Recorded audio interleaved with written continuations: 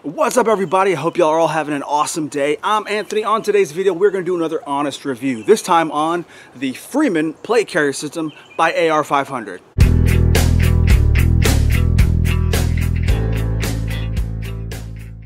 That's right, today we're going to be doing another honest review, and just like all of my other honest reviews, this product was not given to me. There was no coupon codes. I'm not being reimbursed. As a matter of fact, the company doesn't even know I'm doing this.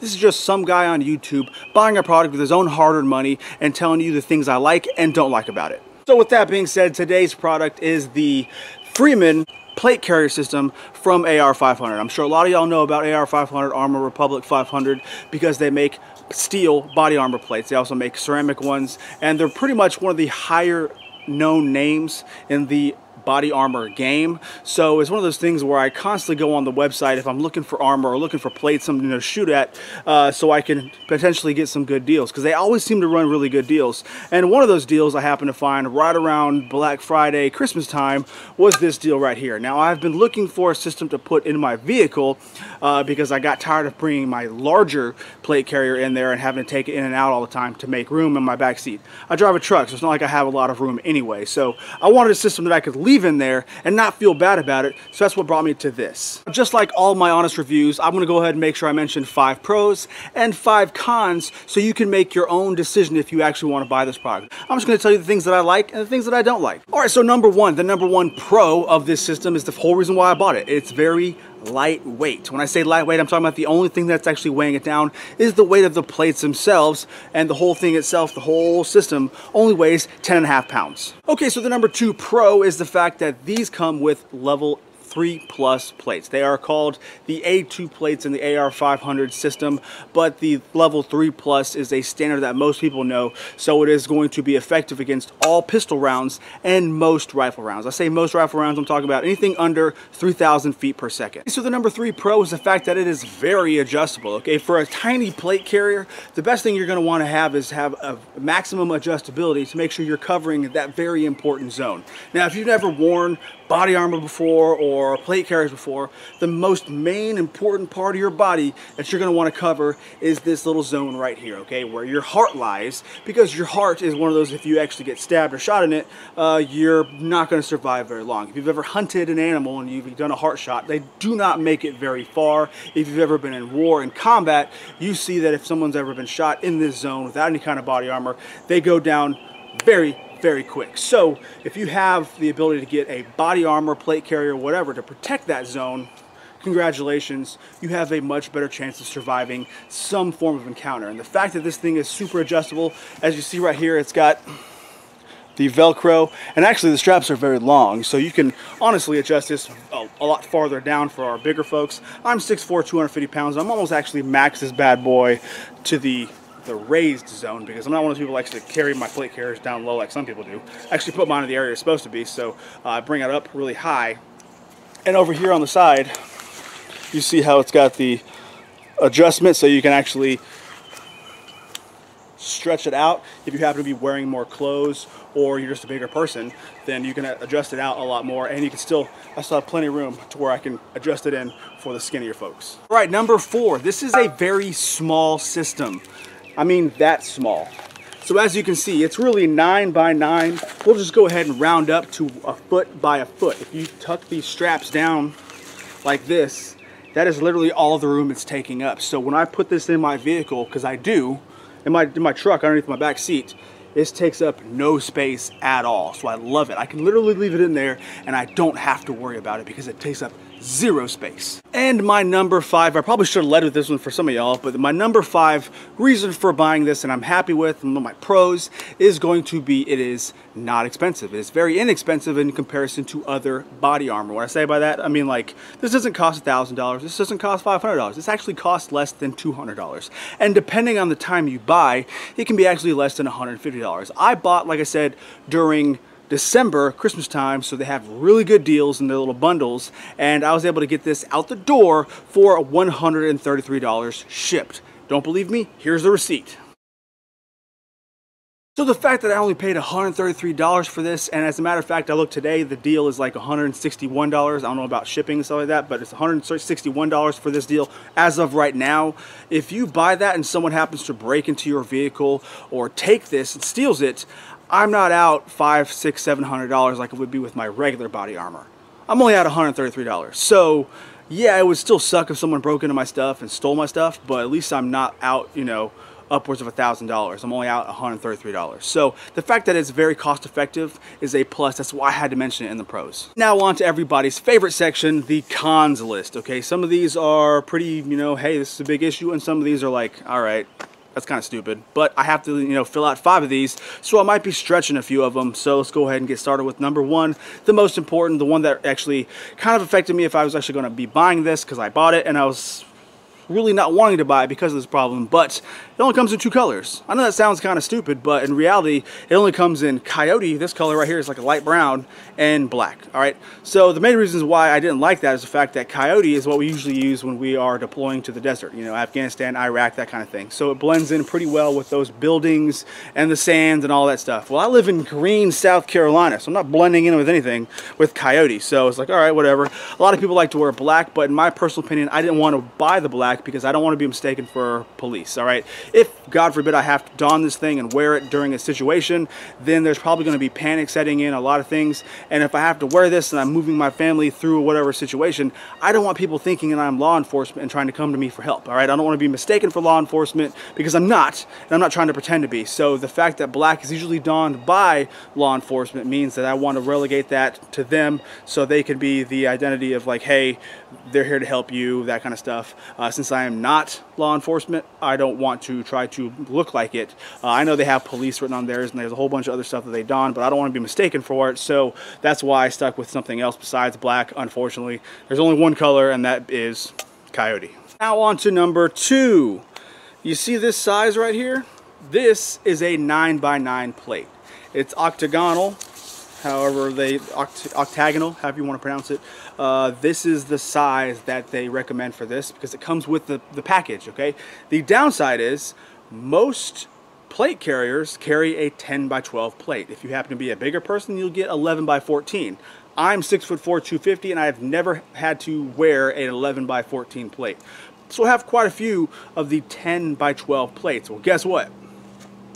This is a 9 by 9 plate so it is proprietary to this system only. So if you want to buy this system and buy only the plate carrier, that's fine. You got to buy specific plates for it. So the fact that it only has one set of plates to get means that you have only one option to buy those plates, and that's directly from them AR500 themselves. So you can't go to Spartan or whoever else to buy your body armor. You have to directly buy the plates from the one company. So it's kind of annoying, but it's proprietary system, so that's what you get. If you're like an Apple fan, you know exactly what I'm talking about. You have one place to buy your stuff because it's the only place that has the ability to produce stuff for your phone. Same principle here. You can only buy one set of plates because it's only one person that makes them because it fits this one size 9 by 9 now another con of mine, number three, is going to be it's not really built for all day, everyday use, which is fine. I mean, that's the whole reason why, you know, you have better systems out there.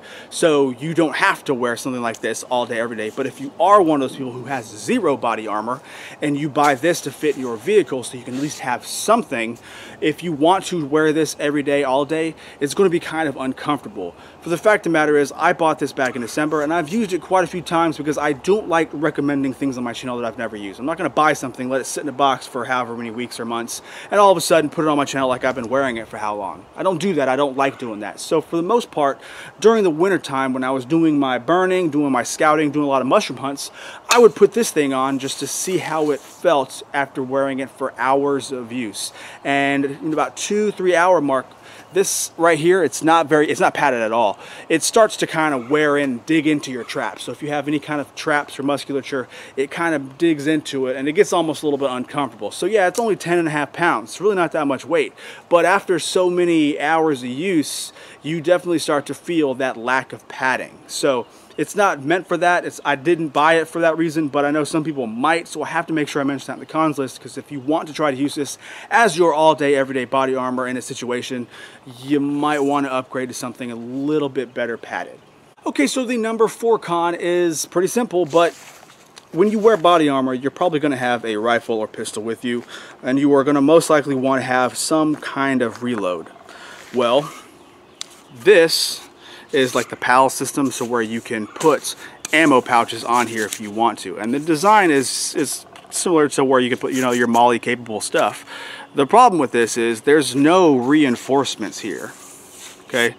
I don't see any kind of reinforcement and unfortunately this doesn't seem like I mean it's very thin material and I I don't want to come across as being like you know oh, you're kind of making a mountain out of a molehill kind of thing. But if you are in a situation where you happen to wear this and you do have ammo pouches and you're kind of running around and you're probably bumping into things, I don't see the ability to, of this to survive that kind of wear and tear. Not to mention if you are ripping using probably a little bit of adrenaline with it, I don't see these lasting a very long time. I really don't, unfortunately. So uh, the fact that there's no reinforcements here, that's why it adds me to the, the cons list. I just don't see this stuff lasting. I, I see it tearing more than anything. And that brings me to my fifth and final con. This is one of those ones that I was telling you about earlier where I'm kind of stretching a problem to make it seem a little bit worse just to fill that five cons list. Well, this is one of those. Um, if you put this in your under your back seat like I do, like inside your the cab of your truck, uh, the problem that I realized, because I live on a dirt road, the problem I realized with this is you have a sound associated. So you're going to hear that sound while you're driving your dirt road twice a day, four times a day, however many times you go leave to your from your house. Or if you happen to have this when you're saying going hunting on public land, those dirt roads are not very good. And as a matter of fact, most of South Carolina has just really crappy roads because there's potholes everywhere. So every time you hit some sort of, you know, I don't say a major bump, just like a mediocre bump, you're gonna hear these bad boys clanging together. So uh, my solution was to put a sweatshirt in between them so it dampens that, you don't hear it.